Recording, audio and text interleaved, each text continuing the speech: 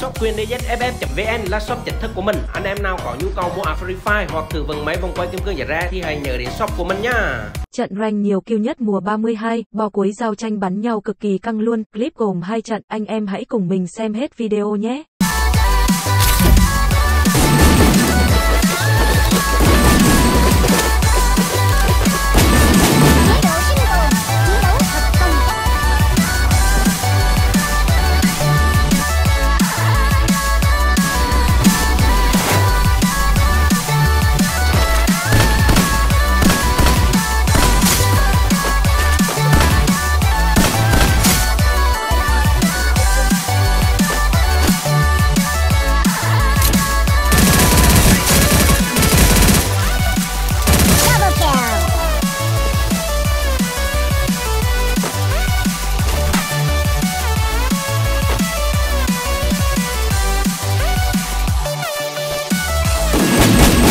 Show.